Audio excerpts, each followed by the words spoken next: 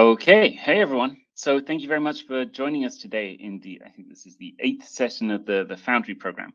This is probably one of my favorites out of all of the things we talk about um, at the uh, at the Foundry courses. Um, yeah, it's about mechanism design, which is, let me hide this, the art and science of essentially programming human behavior. As scary as that sounds, and I, I think it is scary. Uh, Seb, would you mind just checking for me that, that you can see and hear me? Perfect. All right, thank you. Yes, so programming human behavior, which is, I would say, approximately as scary as it sounds. It's one of the um, one of the interesting innovations allowable by uh, trust related and and what did you say? Yeah, trust related technology like blockchains, or led primarily by blockchains, really, and the decentralized networks around them, allows you to program money. And if you can program the way that money moves inside systems, you can program the incentive systems behind that money. And that, because humans respond to incentives in ways that we'll describe in this lecture, essentially allows you to program the behavior of humans at, at large scale. But I would say the first thing is to, to define the goal here. So we would say we want to write applications, and, and this is from an engineering perspective. You want to be able to write applications that execute on crowds of humans reaching an intended goal. But more critically, we want to be ethical about doing that. I would say that the mechanism design space is light to low, light to low to no regulation, depending on where you are in the world, and uh, the way that it's seen by the, or, or these tokens are seen by local um, governments. And so I think that it's important as an industry, we, we take seriously the ethical effects of the things that can be built in this area. So we'll be talking about that too. So first theory, then ethics, and then we're going to be talking through the process of how you can create mechanism designs in the wild. Like, what do you actually need to do in order to coherently and correctly address these, um, I guess, problems um, or, or, opportunities, if that's where you want to look at it, um, to, to achieve the right kind of ends. So first, the theory. We're going to start with a very, very zoomed out perspective on what our new kind of machine type, if you will, that is of the human and the crowd, is. So each individual in a crowd is unique, right? They, you don't know anything about that person more or less, and you can't truly predict their behavior. However, what is predictable is the general behavior of large numbers of people when put in different um, situations and, and exposed to different incentives. So one way to model this in, in your head is to think about the likelihood of activation of an individual by a mechanism or by an incentive system is you know some probability maybe it's 80% maybe it's 20% um, but that really so so at an individual level you can't tell what that individual will do but you can say that you know given 5000 people or 10000 people it's 10000 um, then you can get uh, 2000 activations of the mechanism from a group of 10,000 people and you can know that relatively predictably relatively clearly that's something that is um, repeatable enough that you can depend upon it uh, as part of a program that you're building. So on inside each of those individuals, there are base instincts and desires that create goals. These are, you know, we would call them sort of, uh, how would you describe it? Yeah, I mean, they're the basic components of living. Everybody wants to eat, sleep, stay hydrated, uh, procreate, protect themselves and their family, and, and their society at a larger scale, and so on. These are all of the basic desires that make up humans. They're actually probably, um, at least it seems like, a priori programmed instincts in humans to pursue these goals.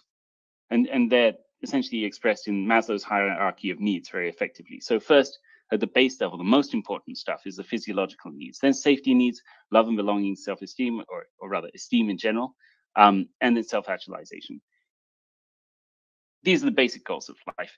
These are the things that almost every person becomes pre-programmed with. They will want to pursue these things no matter who they are in the world. Our bodies create rewards and punishments, essentially our brain actually creates rewards and punishment when we interact with these goals. These give rise to the basic incentives of living. And so you can see that when your brain is, I know, hungry, it makes a plan to get towards the goal where you eat some food and you satiate the desire. So there's a kind of basic instinct, uh, an incentive to eat that is baked into us. And then we create uh, plans in order to get towards solving um, our problems or, or at least fulfilling the needs that we have. And so you can kind of see it like this. Human wants to get towards goal, creates plan. In order to achieve the goal, the brain creates sub-goals to enable incremental progress. So you can't possibly um, say, I want to go home and I want to eat a steak, right? I want, I'm hungry, yeah, I want shelter, and I want to eat good food. These are my kind of base incentives right now. Um, in order to make a plan for how to get that done at, a, at the, the global level, it's just too much. There's too much complexity. So what you'll notice brains do all the time is they create sub goals along the way. Um, I'll say, okay, well, I need to get some money first, and then I need to go to a shop, and then I need to buy the steak, and then I need to go home, which I guess also requires a sub goal of having a home, and then I need to cook the steak, and then I need to eat it, right? So I've created a whole string of sub goals in order to achieve the the meta goal. So human has a plan, which has gets you to a sub goal, and then has another plan which gets you to the goal, or, or any number of sub goals in the middle. So we can think back to our original goal for this lecture, right? What are we actually trying to do here? Well, we're trying to write applications that execute on crowds uh, of humans reaching an intended effect in the world. However, actually, I'm sure that for almost everyone here is a sub goal on the way to some more base fundamental goal that they have in life. Uh, and maybe you can take a second to try and, uh, you say, uh, work out what that is inside you. Like, what is it that's truly motivating you to be here? That is, I suppose, where, um, yeah, where mechanism design, design lies in that space of creating subgoals. But we'll get to that in just a second. So money and status are almost universally applicable subgoals on the way to reaching some larger goal that you have. So in order for me to go home and eat a steak, then I, I, I need some money. Uh, not so much social status in, the, in this situation, but certainly money. And that means that we as mechanism designers can insert our programs in such a fashion that they output uh, some universally useful thing or universally useful sub goal for people, which will fit our mechanism design into part of the process of getting to whatever base goal it is that the human is looking for today in a very, very high uh, degree of likelihood. Kind of looks like this, right? Got the human, we got our mechanism, which gives them money, sometimes social status, depending, and we can get to that a little bit later. And then that gets them on the way to their goal. What's interesting here is that all of the humans in our crowd may have different goals, but money is a kind of universal, um, would you say, universal sub goal to such an extent that we can essentially uh, abstract away the complexities of the goal they're trying to get to. And now, if our mechanism outputs this universal sub goal, money, then we can be confident that it's going to find its way into the planning structure of the human to get to their real goal, whatever that actually happens to be. So for me, it's going home and eating a steak, but for someone else, it's going on holiday somewhere, or you know, who knows what it is. There's all sorts of different goals that people want to get to. But the whole point is that money is such a universal thing that actually, if we can provide that as an output from our mechanism, we can, with a high degree of likelihood, expect people to take part in our mechanisms. Okay, so now we can say but that by designing economic games uh, appropriately, we can force selfish humans to exhibit useful behaviors. And this, I'd say, is the crux of mechanism design. It's not really just about doing things that output money or making games that output money. That's not really the point. The point is to use that process to force selfish humans, so humans acting purely in their best uh, personal interest to perform socially useful behaviors. Kind of looks like this. So whole mass of humans get together, they're, they're uh, taking part in a mechanism um, which is producing money for them, which is a sub goal on the way to their goal. But we can see that because we've defined, uh, defined and sort of uh, designed or, or, built our mechanism correctly, they are outputting some useful uh, side effect, if you will, from taking part in it. And so in the Arweave network, the useful side effect is um, replicating a data set of human history.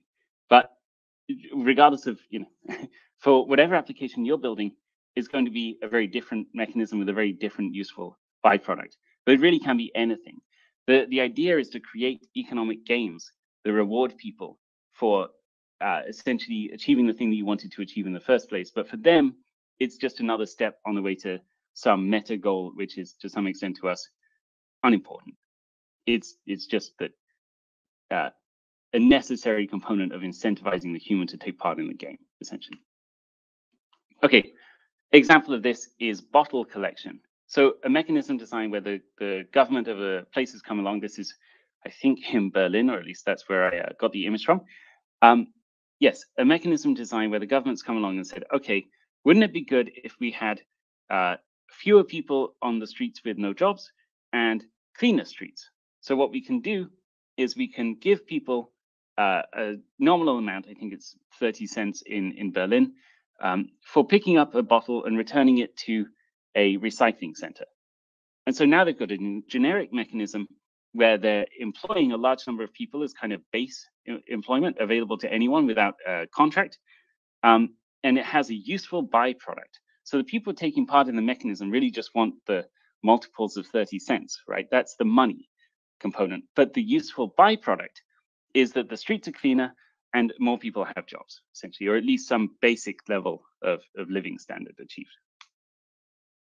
Uh, a different component or a different sort of um, spin on the on the same mechanism design idea or space is, that of the juicer economy. So at the beginning of the, um, I think we can we can say it uh, clearly now that this was a bubble in retrospect. The beginning of the bubble um, in uh, electronic scooters in cities in the West. Uh, there was this problem that came about that basically the scooters would be in the right place in the morning people would ride them to work, they would drop them off, they would massively centralize, they would run out of battery, and you, you as the scooter company would have to come along and somehow redistribute them. This is actually a, a reformulation of the traveling salesman problem.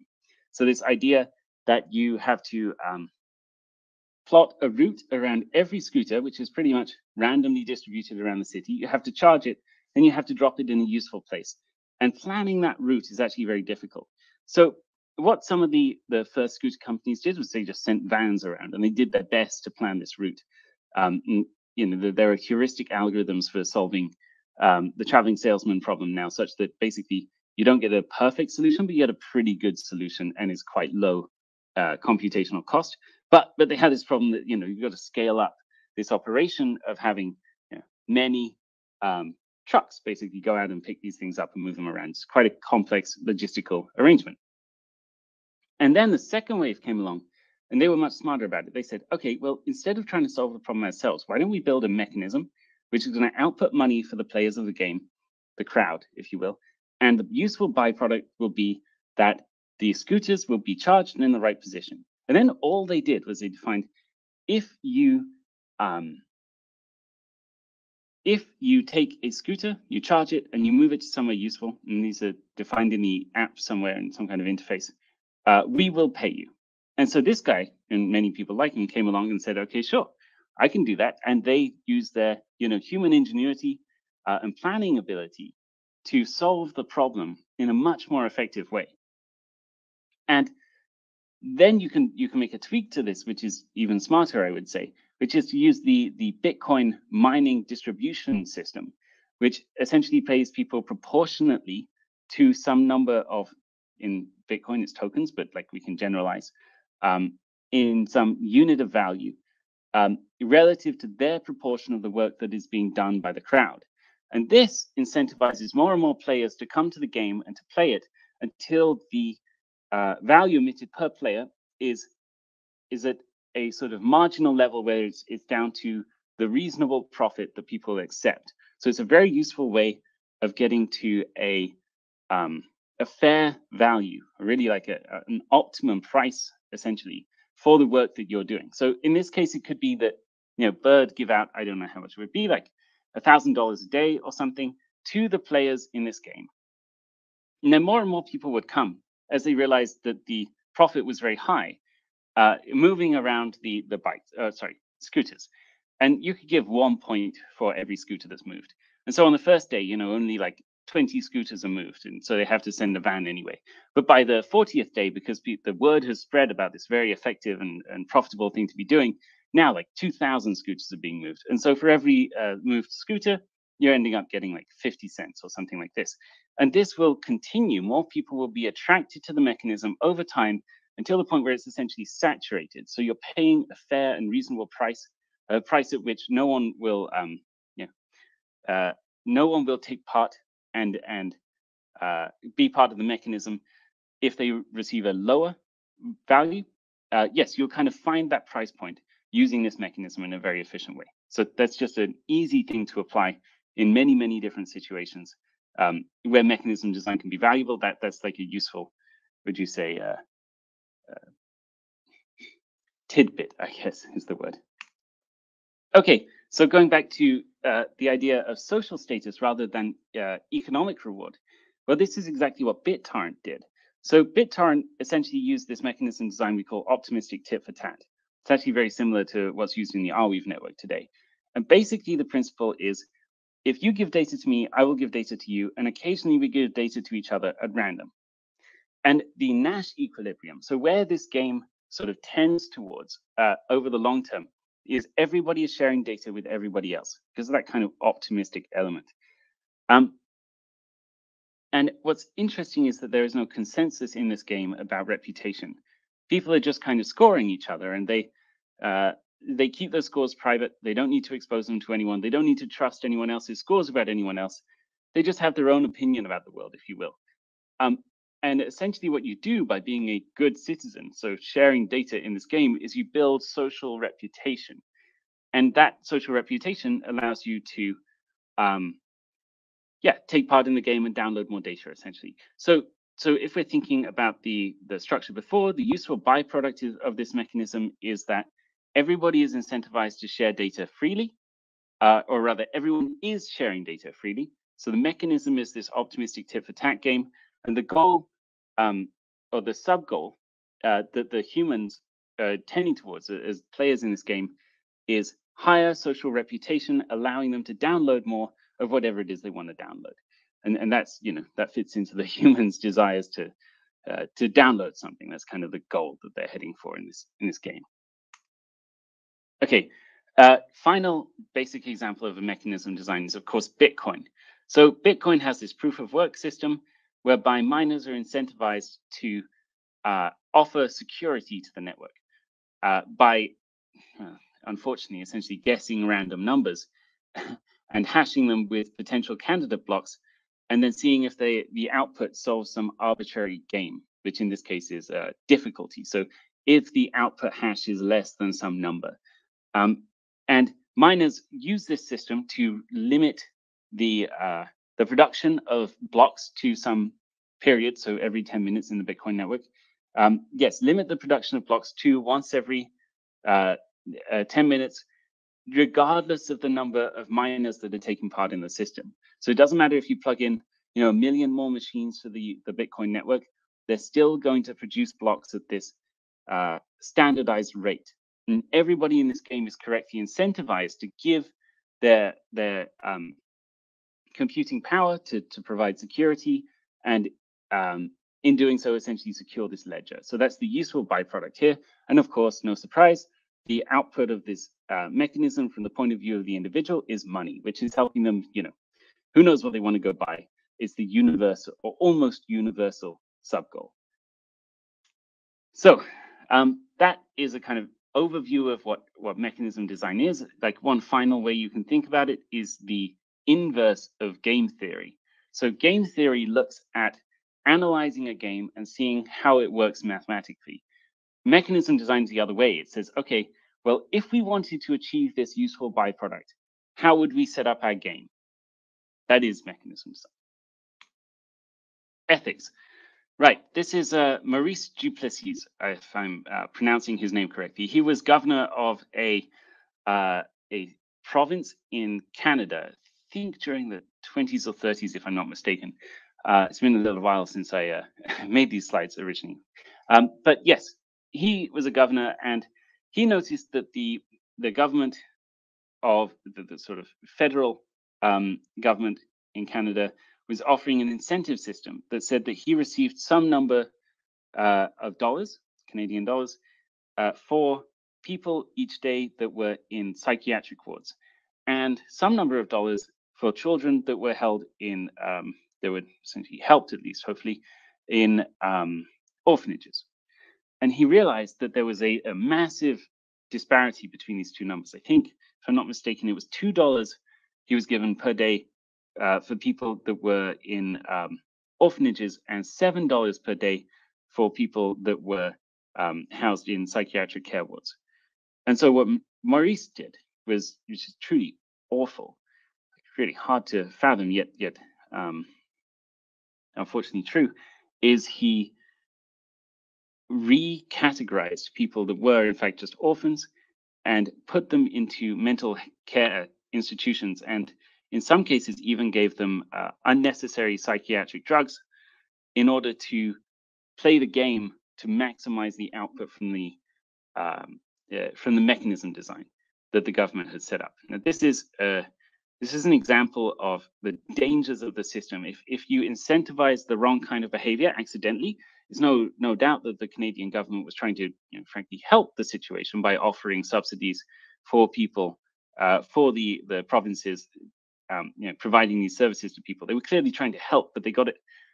Uh, there was a bug, if you will, in their mechanism design, and the output was something absolutely catastrophic uh, for a large number of people. Now, at least this mechanism could be fixed. So they noticed this was a problem and they fixed the mechanism and they stopped incentivizing people to to perform uh, anti-social behaviors essentially. But but it does go to show that the power of these things can can potentially overpower, if you will, the uh, the the moral structures of the players inside the game or in in the crowd. Um, that just goes to highlight, you know, why it's so important that we really make sure that what we're incentivizing is ethically reasonable and correct. Um, in the decentralized protocol space, I think that the the room for error is much, much larger. So in decentralized protocols, they enforce games that cannot be terminated or updated, rendering errors potentially fatal. So I think the most obvious example of this is Bitcoin, which truly at this point, no single person on earth can change the Bitcoin algorithm or even a collective group of them. There will always be someone that says that Bitcoin is this machine as it's currently um, outlined. And one of the bugs in this machine, I would say, is that Bitcoin has a block size of one megabyte and it's never going to change. This was actually a uh, seemingly a rush job by Satoshi, uh, I think I'm not mistaken, 2011, the git commit message says something like add one megabyte block limit, no further description needed or given. Um, I think there was some problem on the network that day, and he was or they uh, were trying to solve it. Um, and so they added this thing, and it just became embedded in the rules of the network. And of course, there's this sort of perverse incentive where miners actually receive larger rewards if there's more congestion, because congestion forces people to bid on their place in um, in their access to blocks, essentially. So if you know everybody else is busy bidding 20 bucks in order to get access to uh, putting a transaction into a block, if I uh, bid 21, my transaction is going to be prioritized. And so there's this weird perverse incentive that occurs where actually it might even be in the miner's favor to keep the blockchain less scalable because it means there's a high number of fees. So another way to think about that is that a larger proportion of the value being created by transactioning in the blockchain is now being captured by the protocol and the people that maintain it. It's very hard to unglue those processes once they're in place. And nobody thinks that the Bitcoin blockchain could not um, could not handle larger blocks than one megabyte. That much is, is simply off the table. It's just that there's no social consensus that we should increase it, potentially because people are incentivized not to increase it. Um, now, this bug in the game can never be corrected, and it can never, and the game itself can never be terminated. And each individual player in the game, in the Bitcoin game, essentially, uh, is incentivized to sort of, well, frankly, hold the tokens because they think that the thing will increase in value going forward. There's a sort of quasi-deflationary effect to Bitcoin in the end, as people start to lose access to their tokens and the number of tokens being minted, um, you know, evens out. You can see that there's some, some sort of built-in incentive to hold tokens because the scarcity of those tokens will increase.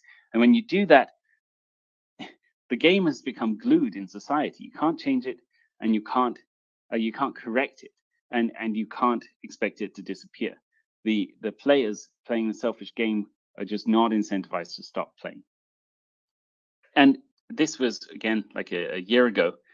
Um, energy consumption of uh, Bitcoin was just below, or rather just above the energy consumption of Bulgaria at the time. So larger than um, it's 130 or 140 countries in the world.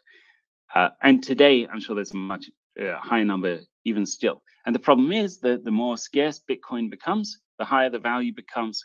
And unless the amount of uh, tokens emitted by the system drops significantly, uh, and the problem with that is it's unlikely to happen because the, the fee market for access to blocks is likely to, as uh, prices rise, increase the, the fee component of block rewards to miners over time, then we can expect, you know, Bitcoin will essentially just gobble more and more energy. We can't stop it. It's processing the same stupid number of transactions per block. This is really stuck. This is a huge error in mechanism design. So I think that that there's even more dangerous things afoot potentially if you combine these factors. So uh, that of um, human human morality being uh, overpowered potentially, um, and the fact that by these mechanism designs, and the fact that mechanism designs can't be altered after they're launched, and then you combine that with the fact that humans make errors. Uh, I think that if you add it all together, you could get a catastrophic outcome, and and one of those would look like um, artificial general intelligence built inside blockchain systems that you can't turn off and doesn't necessarily have human um, interests at heart.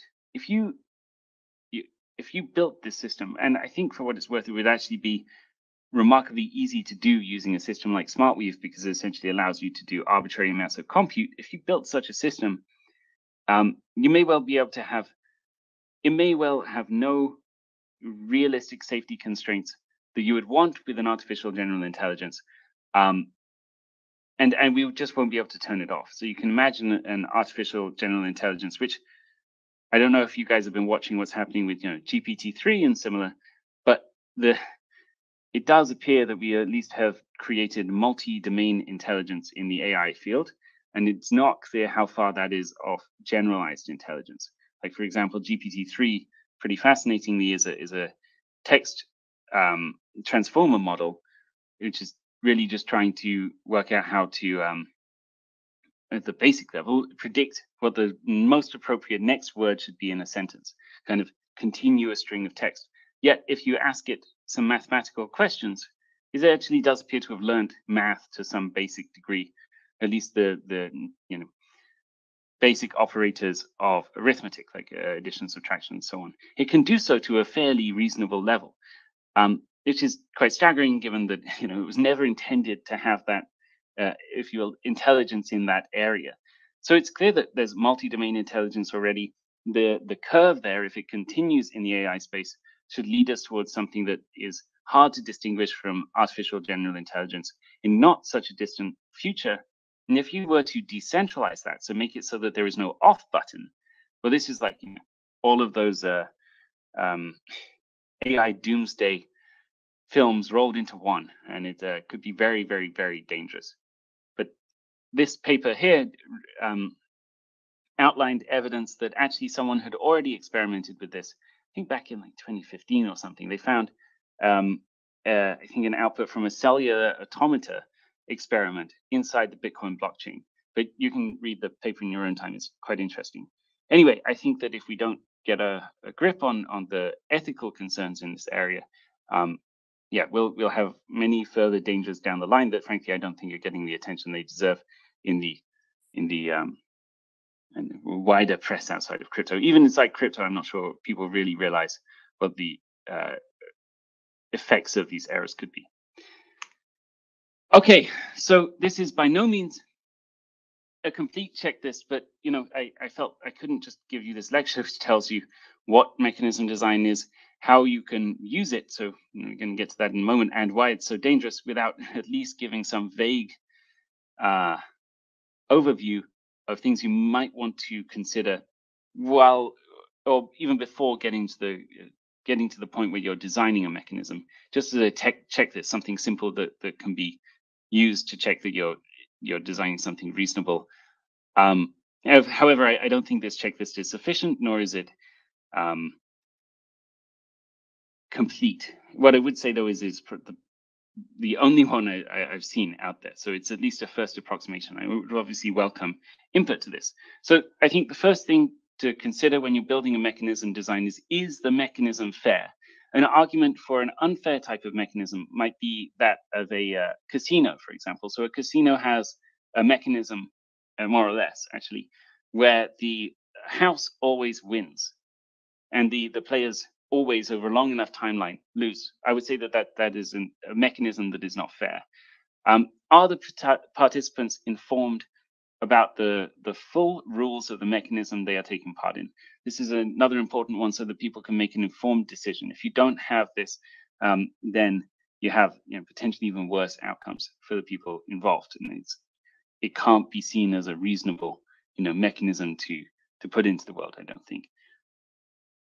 Third component, are third parties negatively affected by the mechanism itself? And one, one argument could be um, that well the environment is negatively affected by Bitcoin, and many many people are you know affected by negative effects on the environment. So arguably there are many third parties that are negatively affected by Bitcoin. Um, there's no hard and fast rule here. Uh, there's no um, can't claim some kind of you know uh, completeness to this, but I do think these are at least three basic things you can think about and three different framings of the problem that might highlight areas you should should uh, consider carefully before um, moving forward when you're building a mechanism design. Okay, so all of that explained and um, kind of exemplified, I hope. Uh, we can now look at what you would do after you've sort of decided you want to build a mechanism design. You think that you know it satisfies all of those uh, components in order to be a reasonably ethical thing for you to be involved in building in the first place. How do you actually go about building it? I think it's a kind of five step process. So the first is you need to choose a byproduct that you're trying to incentivize.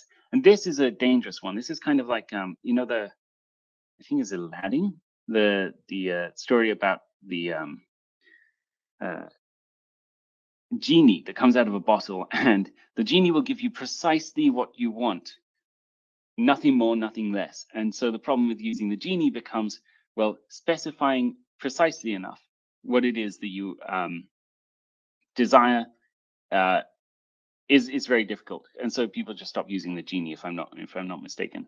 Well, mechanism design is a bit like that. You really get what you incentivize, um, and so choosing the byproduct like correctly and and with enough specificity is an important component. Uh, second thing, choose a reward. Right. So what are you actually going to give people for um, for taking part in the mechanism. And remember that this should be a sub goal on the way to one of their basic goals. And that means that if you have a crowd of people, there's going to be some number of them that are activated by the mechanism that will likely be proportionate to the magnitude and the usefulness of the reward you're giving. So it needs to fit into the process there. And of course, that's going to create the byproduct, which hopefully you've well specified enough. Third component, choose a reward function. So this is a kind of um, an allocation rule, you could call it. How are you going to distribute the rewards that you have to the different people that are playing your game? Um, four, you build it. That one's easy enough. Um, five, you distribute word of the existence of the mechanism design in the first place. Now, some mechanism designs have a sort of viral loop, if you will, built into them. So each individual player will, uh, by the nature of playing the game, incentivize, or rather, yeah, inform at least one other player that will start to play the game um, as part of the process itself. And those are the those are the most effective mechanisms. And we can get to an example of that, I think, last.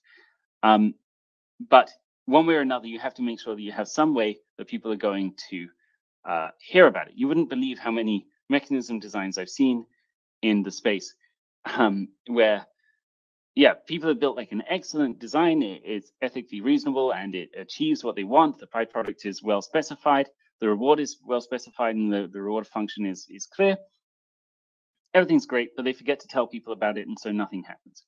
So obviously you need to make sure that the distribution process uh, works too. Now let's go through a, a real example. So uh, Phil is one of the founders of the, or rather the founder of the Ardrive project. Ardrive is a permanent decentralized Dropbox built on top of Arweave. They wanted to create a way of getting staked Ardrive users. So people that have used the Ardrive um, application and also own a small stake in its governance and its uh, future profits, um, such that they would kind of stick around and engage with it, be its community in some form.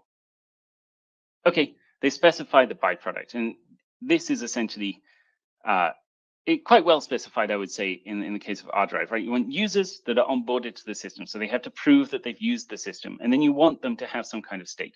That's it. And that is precisely for what it's worth, uh, what Ardrive got from the output of their mechanism. So choose a reward. Well, Ardrive tokens, because this sort of helps us uh, solve the, the first question as well, like uh, incentivizing people or rather getting people staked in. A great way to do that is to give them ownership small amount of the protocol or application you're building on top of the network. Choose a reward function. This is a very simple um, uh, proportional usage rule. So the data that a user uploaded in a given day divided by the total data uploaded uh, in that day multiplied by the number of tokens that were going to be reward uh, or given in total gives you how much that user gets. So, you know, if they upload 10% of the total data from that day, they end up getting 10% of the daily reward. Um, important thing to note here is that by using a mechanism like this, which is, I would argue, kind of similar to the um, the Bitcoin proportional allocation rule that we discussed earlier in the slides, um, you can easily constrain the effective cost of the mechanism to you. If, however, you said, for every person that uploads a piece of data on a given day, I will give them 10 Ardrive tokens. Then there might be millions of people using your uh, application in that day, or there might be one person. And you can't really budget how many tokens are going to have to be given out to those people. So this is a way of kind of cost constraining it by making it proportionate to the number that you wanted to distribute anyway. It also has a weird but somehow uh, useful byproduct that uh, you over incentivize things at the beginning. So people come along and they're like, wow, I only uploaded like three megabytes, but I got, you know, I don't know how what a, a large number of Ardrive tokens is, is because I'm not, not sure of the price, but 100,000 Ardrive tokens or something. That's amazing. And then they go and tell their friends. and this does part five for you a little bit, this distribution, right? So, so if you over incentivize stuff, people tend to be amazed and they tend to tell other people, which brings more people to the mechanism, which pushes down the the level of amazement and also over incentivization until you reach that point I was describing where the uh, the mechanism has reached its optimal pricing per activity. Okay, in order to build it, uh, Phil used a system called Astatine, which was created by the Verto uh, founders. It's a very simple mechanism, which actually uses, I think, um, I think you can run any JavaScript environment on some kind of cron job.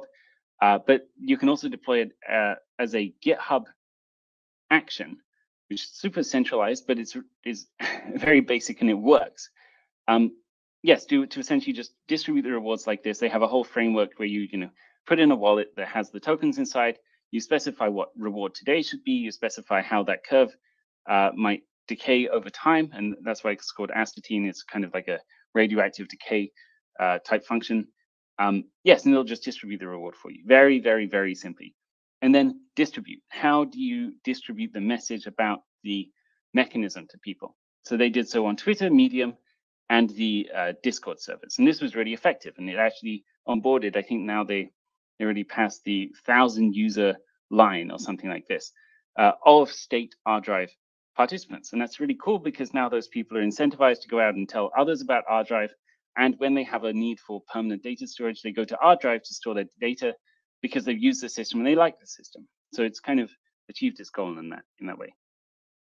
And if we put that back into the model that we discussed at the beginning uh, of this, I guess, talk, you can see that the human uses the mechanism which is described in this astatine program uh, in order to get Ardrive tokens, which are, you know, some sub-goal on the way to personal goals. Because of course, Ardrive tokens at some point can be monetized for money, which is almost a universal incentivized or universal sub-goal on the way to wherever it is they personally want to go.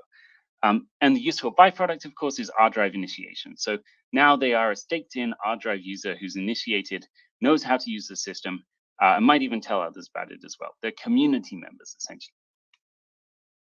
Now, this is this is pretty interesting. Um, going back to that idea of the best mechanisms being mechanisms that spread themselves as part of a process. Let's look at ArVerify instead. So ArVerify is they call it the uh, the blue tick for the permaweb. Like on Twitter, you have this blue tick system that shows you uh, validated or verified users, and Twitter just in this totally centralized way. it's actually pretty nepotistic. It's like who knows the Twitter developers?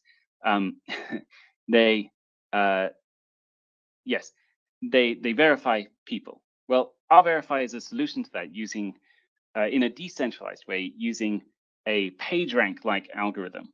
So basically people have an ArVerify score, and when they ArVerify other people, they um, give some multiple of their own score to that person to some extent, or at least they duplicate it.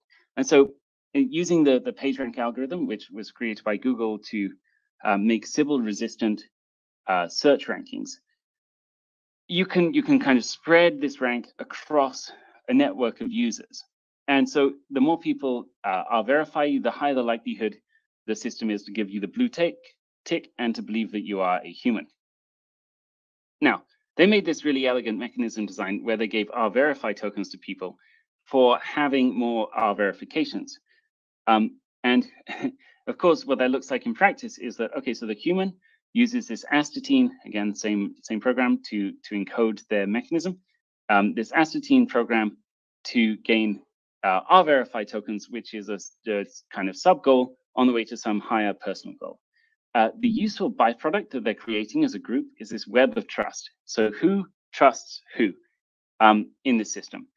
But uh, another kind of byproduct, which is um, useful and effective for the mechanism, is there's lots of people going out there and tweeting, hey, please R-verify me.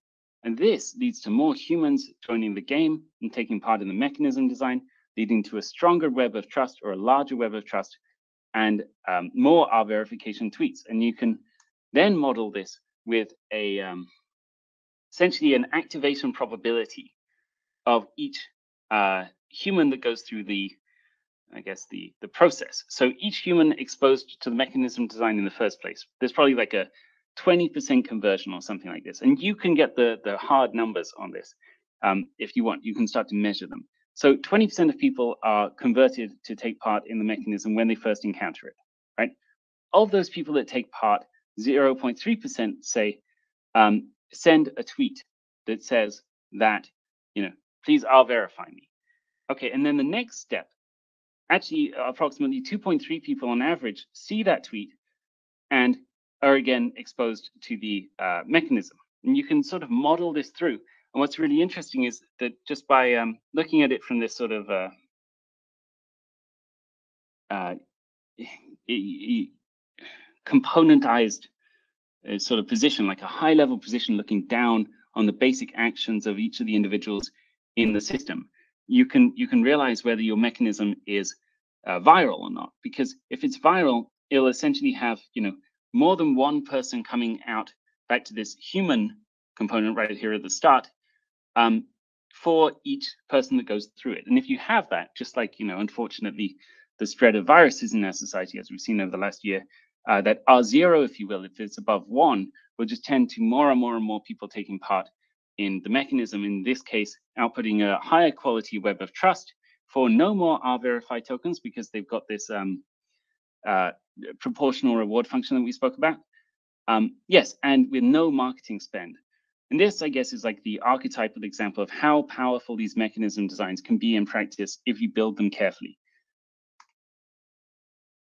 yes, and I guess here is the, the critical component. So again, just making this proportional will control your costs, but that's a kind of side point. And then reward today, you can make exponentially decaying. And if you do those two things together, it means that you can put aside a budget, if you will. So in Bitcoin, this is there will never be more than 21 million tokens minted by this mechanism.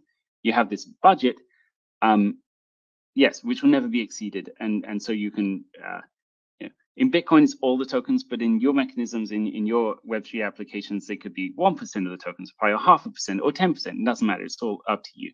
But you can plan based on that. And that's the powerful part. All right. Thank you, everyone. Um, hopefully that was a useful introduction to the space of mechanism design. And maybe by the end, it's kind of clear how you can use this in your own applications. And I think, uh, if I'm not mistaken, on the agenda, we have a, um, a talk typically about, uh, yeah, how to build these reward programs in practice for your applications. So when you look at, you know, I'm building, for example, a uh, uh, blogging application. How do I make it so that I build effective mechanism design components into this in order to push the adoption of my application in, of course, an ethical way? Um, yeah, so I look forward to chatting to you all about that. And I'm also super open to feedback about this um, and input. Like we can make the next session essentially a reaction session if people want, uh, covering all of the pieces here that we didn't get to um, in a more uh, honed way to, to what people actually want to hear about. All right, thank you, everyone. Um, yeah, hope to chat to you in the uh, coffee and mingle section just out there. See you there.